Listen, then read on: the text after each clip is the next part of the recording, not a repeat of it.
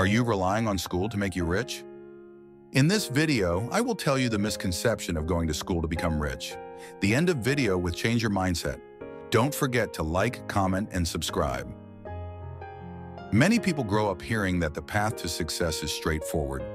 Go to school, get good grades, and you'll secure a good job. While this advice has its merits, it also carries a significant misconception.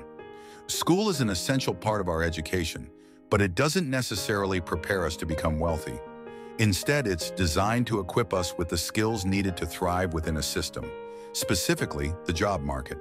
The traditional education system is structured to produce employees who can contribute to existing companies and organizations, but it often stops short of teaching us how to build wealth or achieve financial freedom.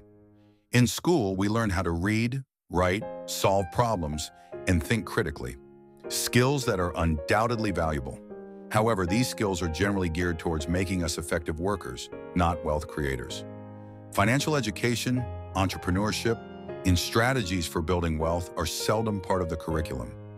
As a result, many people enter the workforce prepared to trade their time for money, but they lack the knowledge and mindset necessary to create lasting wealth.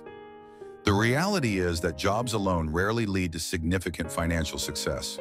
While they provide a stable income, true wealth often comes from thinking beyond the traditional job structure. Building wealth typically involves taking calculated risks, investing wisely, starting businesses, and developing multiple streams of income. These concepts, however, are not usually covered in standard education, leaving many to discover them later in life, often after realizing that a job, no matter how well paying, may not fulfill their financial aspirations. To break free from this system, it's crucial to shift your mindset. Recognize that school is just one component of your education. To achieve financial independence, you need to seek out additional knowledge in areas like money management, investing, and entrepreneurship. This can be done through self-education, reading books, attending seminars, finding mentors, and embracing the idea that success often requires thinking outside the box. The path to wealth isn't typically found in a classroom. It's found in the willingness to learn, adapt, and take control of your financial future. In conclusion, while school provides a solid foundation, it's not the only factor that determines your financial success.